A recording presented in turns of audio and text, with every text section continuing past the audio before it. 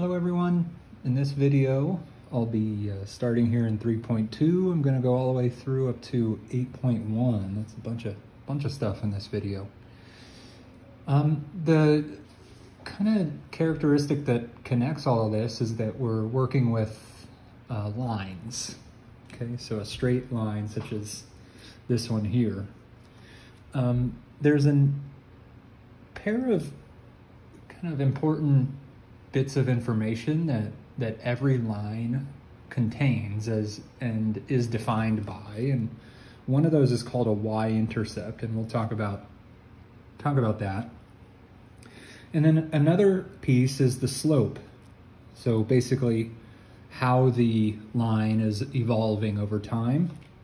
And for that we're going to have a specific formula. That's over here. If you know the y-intercept and the slope, you know everything about the line. There's no other missing information, right? If you know where the line is going through, that's that's the y-intercept part. And then you know in what direction the line is going. If it's a straight line, you know everything about the line. So let's try one. So example one says, uh, find the slope of the line containing these points and also graph the line.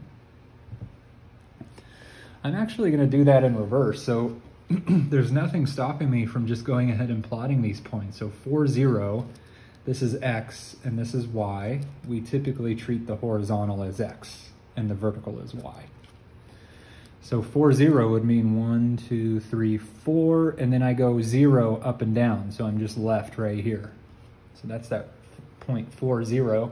And then negative 2, 3 would be here.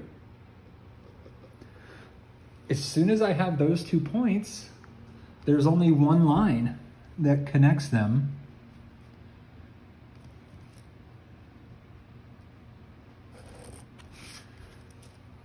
So that'll be the graph part. So I've connected those two points with a straight line and then I've implied those that line continues forever in that way by using those arrows. But also we were supposed to find the slope. So that comes from this bit of information here. So y2 minus y1, x2 minus x1, you can think of that as the rise. So how far up or down you're going from one point to get back to the line. And then the run is how far you're going to the right to get back. So the rise in this case would actually be a negative 3, and then the run would be one, two, three, four, five, six. But I'm going to use the formula. I'm going to use this formula. So I'll call this x1, y1, and I'll actually call this x2, y2, just to differentiate my first point and my second point. It doesn't matter, actually, which one you define as your first point and your second point. So even though um, this, what I'm calling the first point is on the right, it doesn't matter. So the slope between those two points will be y2 minus y1, in other words 3 minus 0, over x2 minus x1, negative 2 minus 4. And then we reduce this. So I'm getting a 3 over negative 6 and we usually reduce these, so the slope would be negative one half. What that would mean, just to kind of conceptualize that, the negative one is the rise. So from this point, I go down one, the two is the run, so it's telling me I go down one and over two and I should be back at the line, and that looks like it's the case. Right, down one, over two, I'm back at the line. Down one, over two, I'm back at the line. That's it.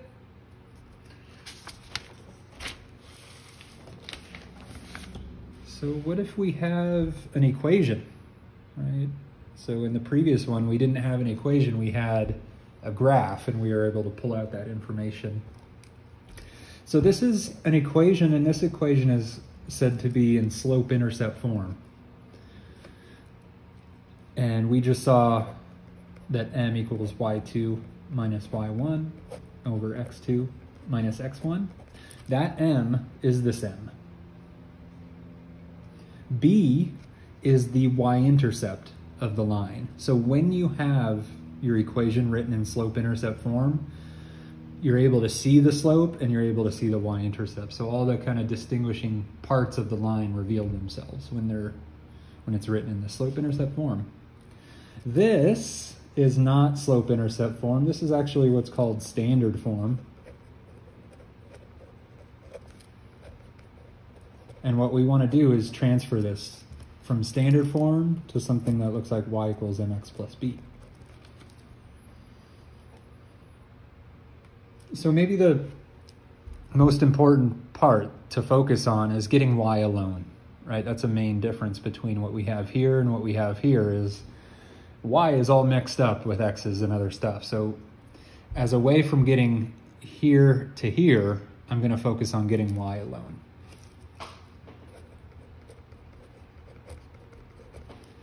So the first thing I might choose to do is subtract over that 2x. So we have negative 3y equals negative 2x plus 9. And then just one more move maybe, so divide by negative 3. And now we would have y equals, I'll write negative 2 over negative 3 as positive 2 thirds, so 2 thirds x. 9 divided by negative 3 is negative 3. So keep in mind that the problem was to find the slope and the y-intercept. So this is slope-intercept form. So from there, I can see that the slope is 2 thirds, right? It's not, it does not involve x, keep in mind. So the slope is just the number attached to x, but it actually doesn't involve x specifically. And then the y-intercept is this point 0, negative 3, right? That's what this is saying, is if you have a number here, then 0 and that number is your y-intercept.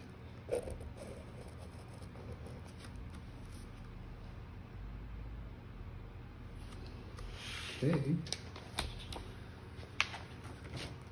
Moving on actually all the way to uh, page 38.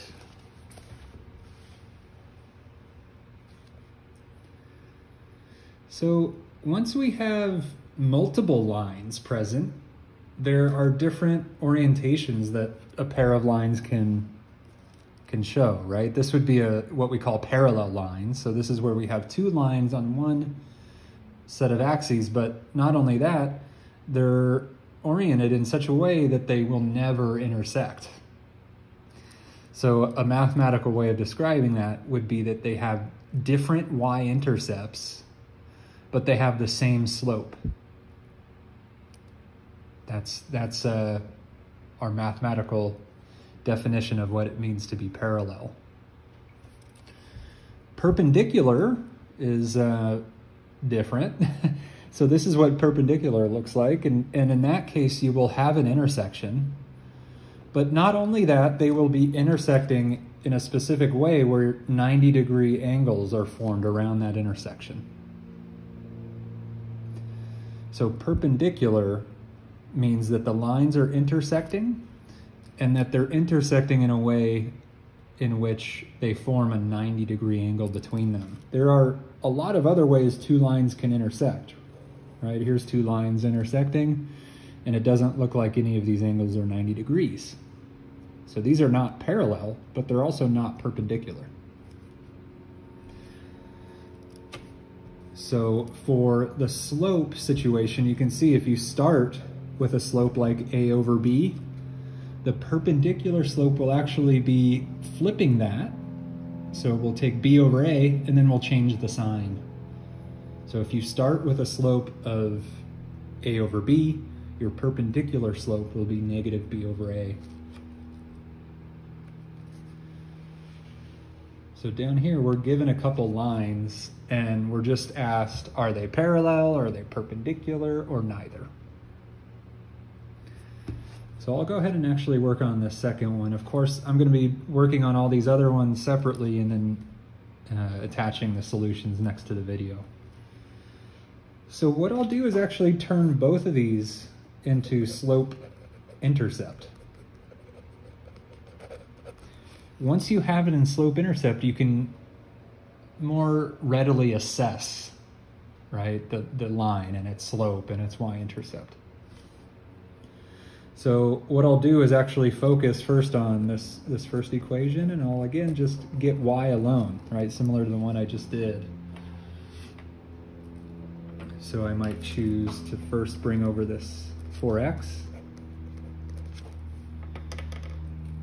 And that would give us negative 3y equals negative 4x plus 2. And then divide by negative 3.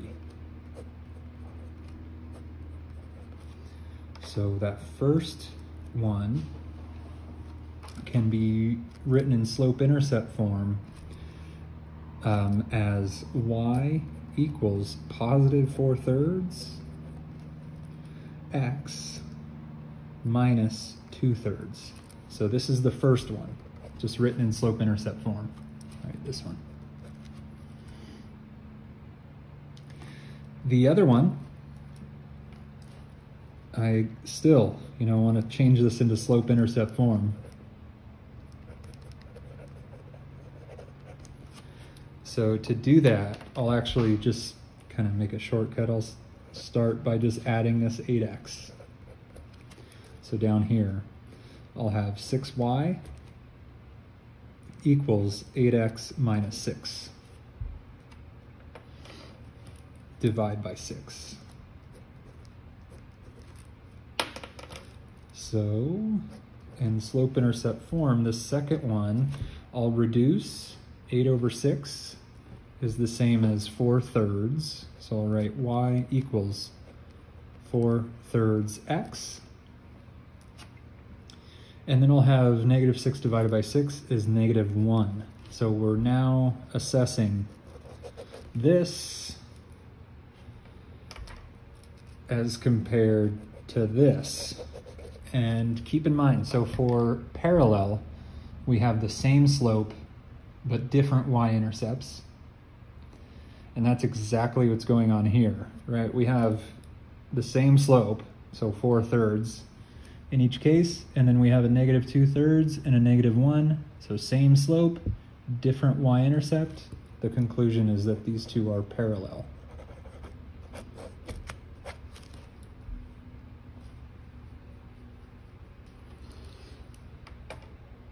Okay.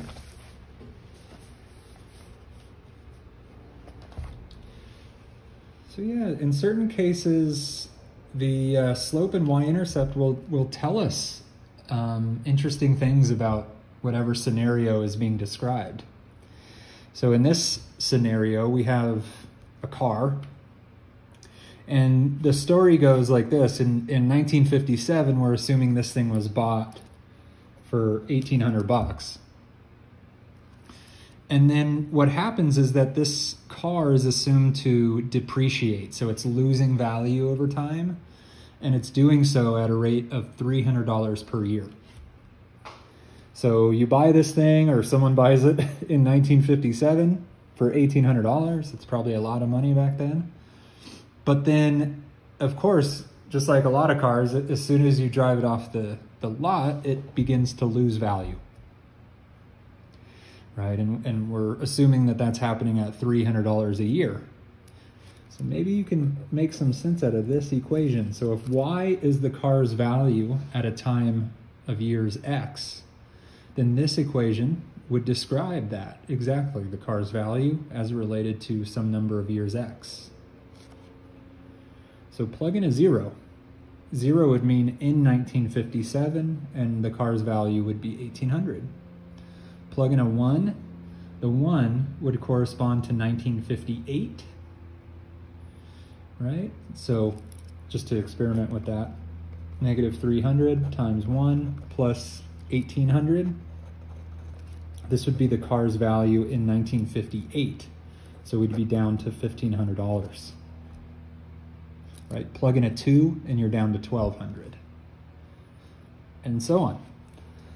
So in this case, the 1800 is actually the y-intercept. And conceptually, it actually means something. That, that literally means the price or value of the car at the time of purchase.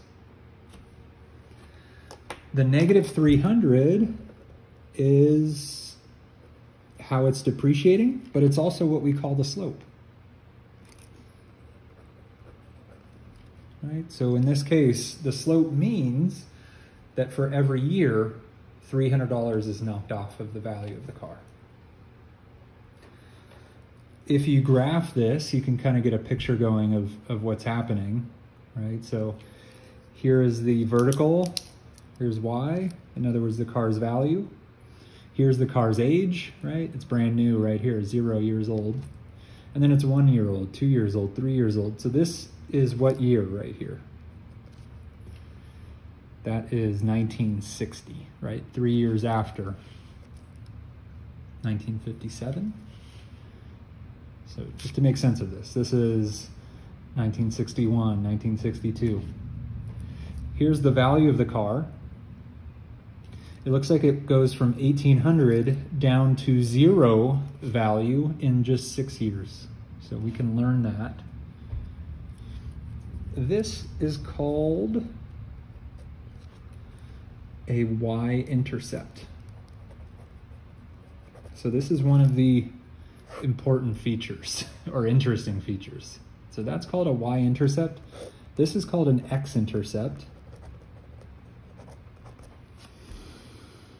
And kind of how this is evolving is called the slope. So I would say what are some interesting features? I would say the intercepts, both x and y, and the slope. Those are telling us a good amount about the story of this thing, right? It started at 1800, took six years to get down to zero. Those are intercepts, and within those intercepts, we've defined a slope.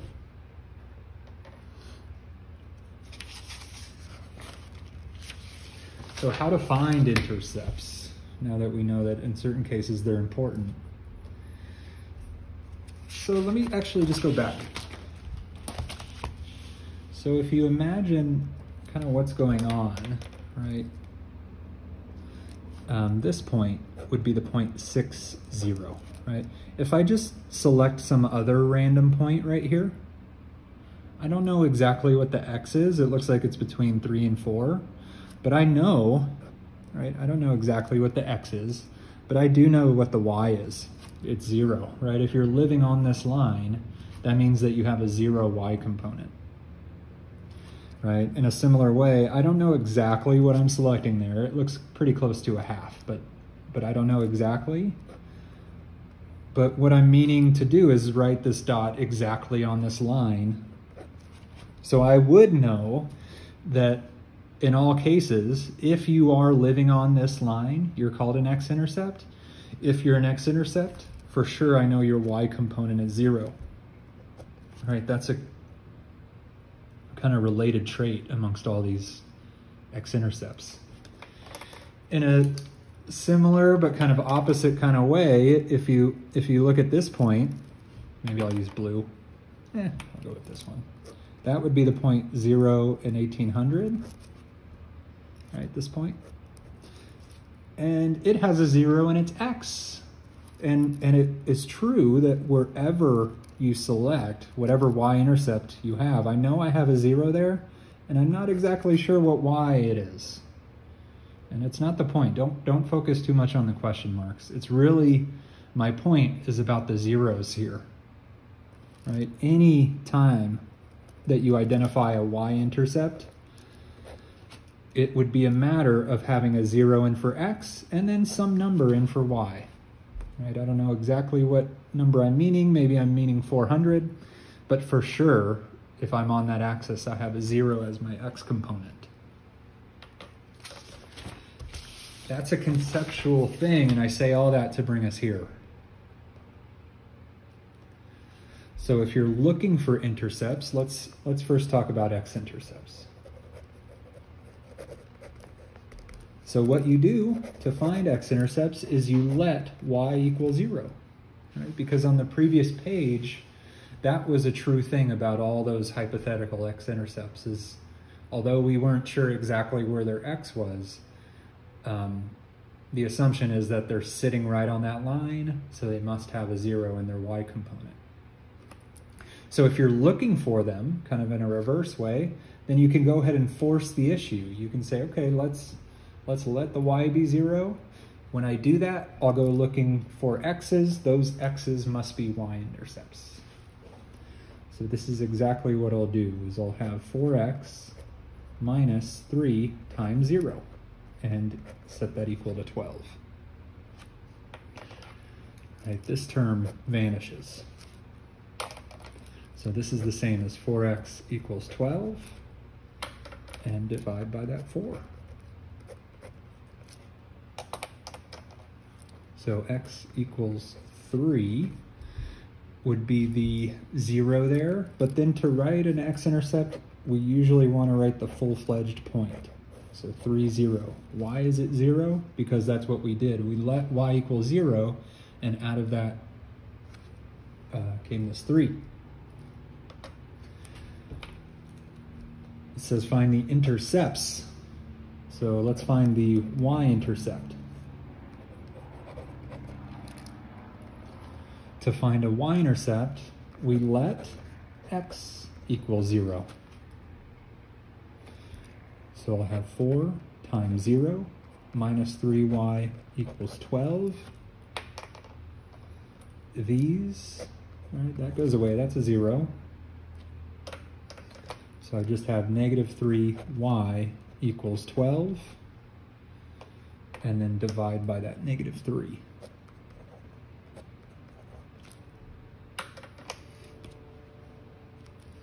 So y would equal negative 4, maybe I'll write it up here, 0, negative 4 right? The zero goes in for x this time because that's exactly what we did is we let x be zero, so that forces this, and we are able to solve for the y-intercept.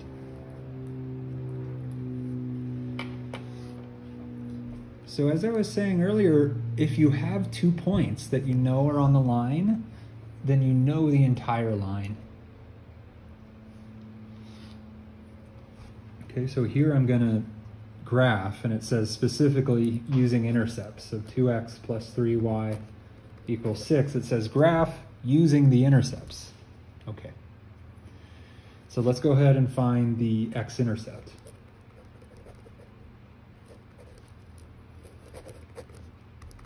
So just as before, we let y equal 0, and then we solve for x. So we'll have 2x, and then I'll just set that equal to 6. Why is that just equal to 6? Because I'm letting this y equal 0, so that whole term just vanishes. So I just kind of skipped a step. Then solve for x. We divide by 2. I get x equals 3. And now I know that there's an x-intercept at 3, 0 for this line. So I'll go ahead and make that point there.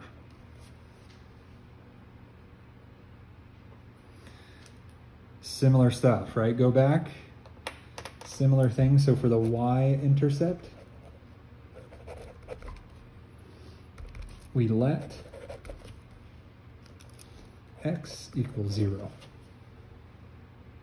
All right, if you're looking for the y-intercept, that means you're letting the other variable equal 0.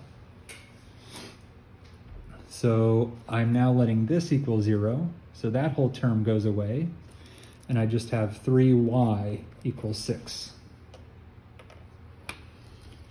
And divide by 3. We get y equals 2 so in other words, the point 0, 2 is the y-intercept. So 0, 2. And now I have two points. And I just need to make the straight line through those two points. And don't forget about your arrows.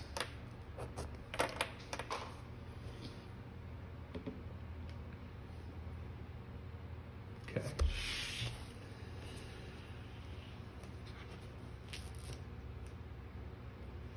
All right, so determining, I'm going to page 43. So determining whether Uh, these equations are linear equations. So it says determine whether the following equations are linear equations. If the equation is linear, put it into slope-intercept form and state the slope and the y-intercept. So the, the concept here is if it's linear, then it should be possible to write y equals mx plus b. If it's not linear, then we won't be able to write it into this form. So that's what I'm going to do. I'm going to kind of rework this and see if I can get this into y equals mx plus b. If I can, then that tells me this thing is linear. And since it's linear, I would want to go ahead and write down the slope and the y-intercept. Okay, so maybe the first thing I'll do is distribute that 4.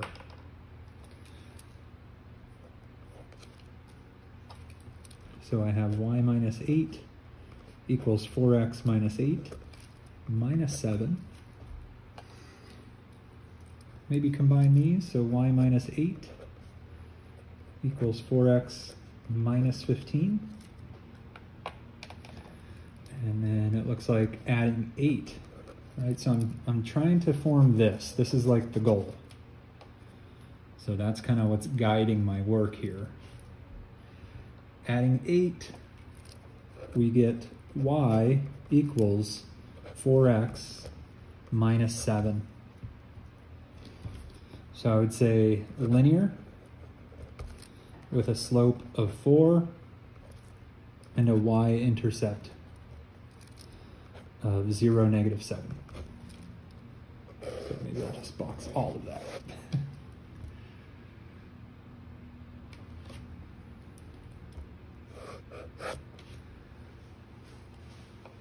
so part two, again, I, I'm again trying to create this. If this is achievable, then that means this thing is linear. If this is not achievable, then this thing is not linear, and I'll just say not linear in that case.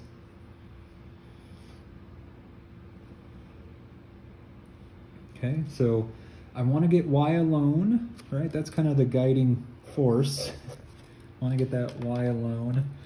So I'll first subtract 7. So 13 equals 2xy getting y alone, again, this is my goal. So I'm just focusing on getting y alone and then I'll step back and see what we have. So divide by 2x, we get 13 over 2x equals y. And now the question is, does this look like this, right? Even if I switch it around, and the, order doesn't matter, but my question is, does this look like this up here? And no, that x is up in the numerator. This x is in the denominator. So no. So I'll just say not linear. I don't know, it didn't really tell me what to do. Linear.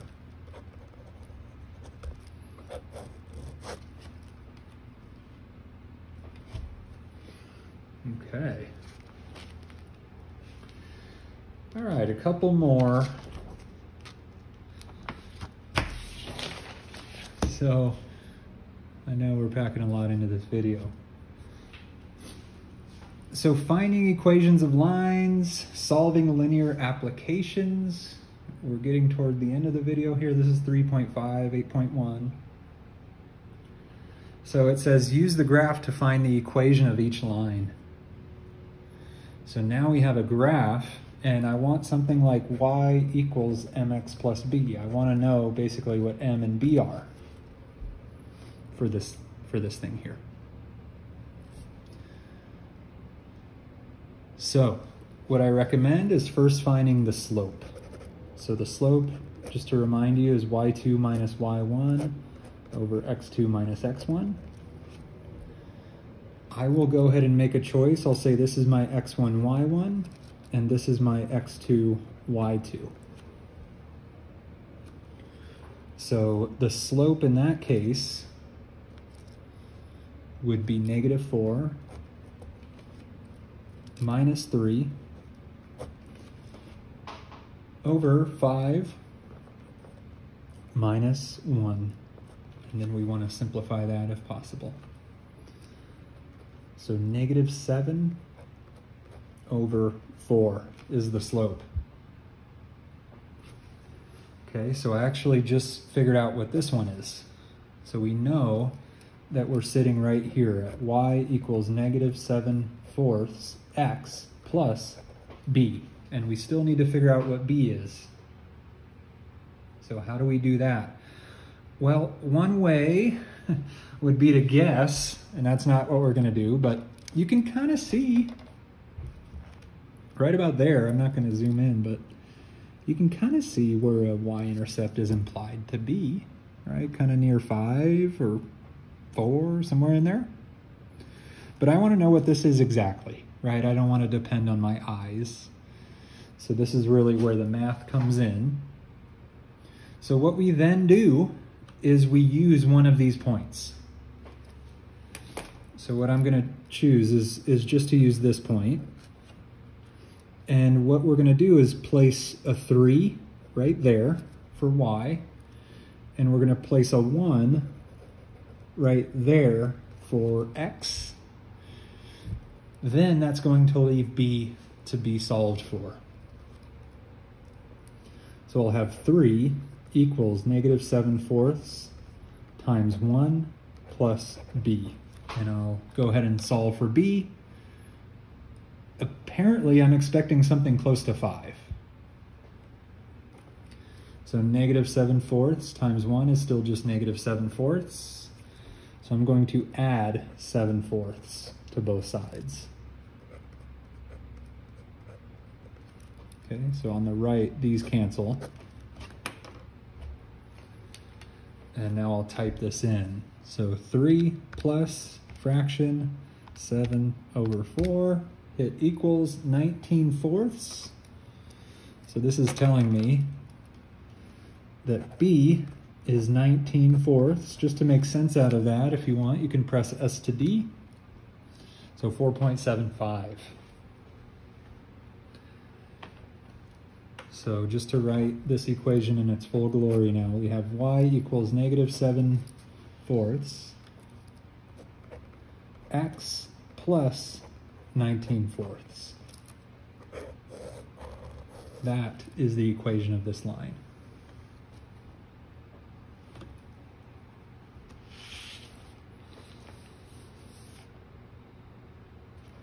Let's try another one that's, that's similar. So example three, this is on page 45. I'm not going to actually talk about point slope form. Let's just stick with slope intercept form. That's enough. So actually just switch that out for slope intercept form. So using slope intercept form, find the equation of the line passing through these points, put the final answer into slope intercept form, y equals mx plus b. So with two points, you can find a slope. So I'll go ahead and call this x1, y1, x2, y2. Keep in mind the slope is y2 minus y1 over x2 minus x1. So y2 is 3 minus 5 over x2 minus x1. So 2 minus negative 2. Right, this, this negative is in the formula, this negative is in the point, so we need both right? And they are going to turn into addition here in a second. So negative 2 over, this turns into 2 plus 2. So negative 2 over 4, that's the same as negative 1 half. Right? That is the slope. We still need to figure out the y-intercept. So just as before, we go back and we select one of these points, it doesn't matter which one you use. I'll just use this one for no good reason. I'll plug those in for x and y with the slope. That'll allow me to solve for b.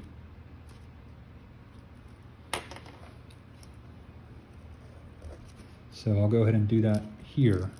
So I have 3 equals negative 1 half times 2 plus b. All right, here's my y. So I brought that in to y. I brought the 2 in for x. And I'm using the slope we just found. So negative 1 half of 2, so this is 3, equals negative 1 plus b. And then add 1. So 4 equals b, and then I'll write this answer. So we'll have y equals negative 1 half x uh, plus 4.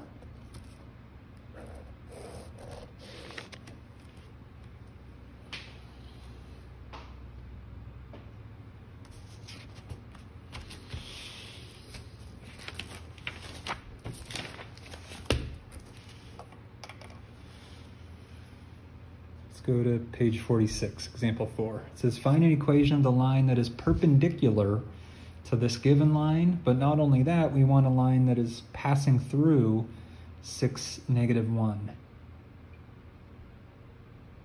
Right? I'm to sketch. I, I, probably should have brought up Desmos at this point, but I'm just to sketch like what a picture of this problem would, would basically look like. Sorry about that. So here we have a given line. Let me just kind of estimate it like that. And then here we have a given point. 6, negative 1 would be like over here, roughly. Okay, so here's a, here's a picture. Here's the given line. Here's the given point. So what we're looking for is a line that contains this point but not only that, we want that line to be perpendicular to that line in red. So we're looking for that blue line just to kind of sketch the picture of what we're doing, right? We have a given line. We have a point that is askew from that line. In other words, it's not on the line. And we're being asked to, to find a perpendicular line to this line containing this point right? So there would be infinitely many perpendicular lines, right? My pencil is basically perpendicular to that red one. Anywhere we slide that pen, that those are all perpendicular, but there's only one that meets both requirements. Okay, so something we noted earlier in the video. So we are given this slope of 3 sevenths. What we want is to transfer this into a perpendicular slope. Sometimes we use this notation to represent perpendicular. And basically what is true, and another way to formalize it, is if you have m times a perpendicular slope, that is always equal to negative 1. So when you take slopes that are perpendicular to one another and multiply them, you always get negative 1 out of that. So if I know m is 3 sevenths, so I can plug in 3 sevenths, multiply that by the perpendicular slope, this should be equal to negative 1. So solve for the perpendicular slope. So 3 sevenths, 3 sevenths. And this is telling me that the perpendicular slope is negative 1 divided by 3 sevenths. So fraction, negative 1 divided by another fraction, 3 over 7 hit equals negative 7 thirds. So we have negative 7 thirds. That is the perpendicular slope that we're going to use. So right now I know that we have some equation like y equals negative 7 thirds x plus some b that we still need to find. How do we find that b?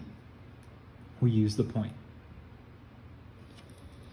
So I'll have negative 1 equals negative 7 thirds times 6 plus b. Right, I'm using this point and I'm plugging that in here. So it looks like I have negative 7 thirds times 6. So I can actually just press times 6 because on the previous screen was negative 7 thirds. So negative 14. So I have negative 1 equals negative 14 plus b. And add 14. So it looks like we get 13 equals b. So the problem was to find an equation, so I need to write an equation. y equals negative 7 thirds x plus 13. So this is the specific line that we were looking for here, this dotted. Right, it's both containing the given point and perpendicular to the given equation.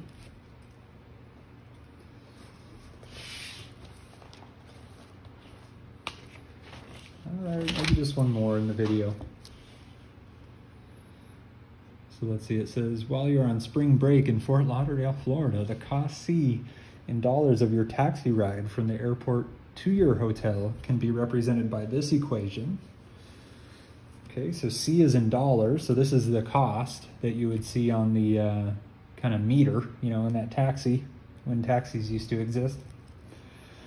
And M is the amount of miles that you're going to go. So kind of in a confusing way, m now is acting like x was,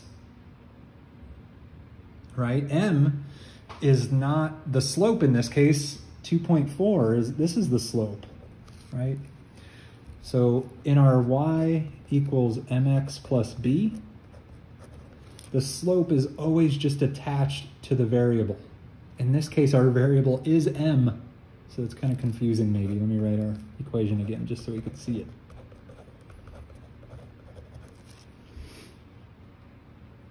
So what will an eight mile taxi ride cost? So eight miles means I'm gonna plug in eight right here for M. I'll do 2.4 times it, and then I'll add $2.10. So the cost would be 2.1 plus 2.4 times 8. So this is how much it would cost to travel 8 miles. Okay, so 2.10 times 2.40, sorry, plus, plus 2.40 times 8. So kind of a weird result, but again, this S to D button, so $21.30.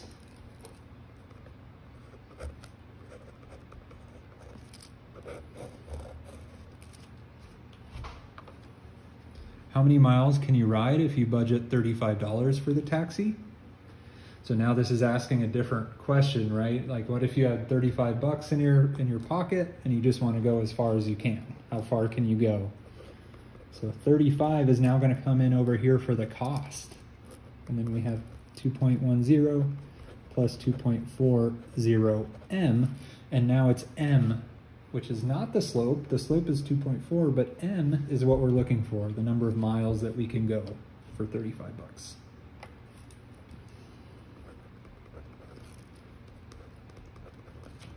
So 35 minus 2.1 is 32.9. And then that would equal 2.40 times m. And then divide by 2.4. Might get a weird number here, but that's what calculators are for.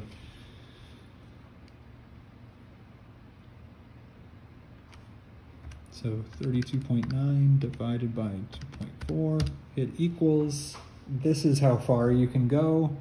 If you press S to D, it's still a strange number. That bar over the 3 means that 3 actually continues forever. So I'm going to write that. So 13.7083. Then that bar over it literally means that that just is a repeating 3 after that. And this would be a number of miles.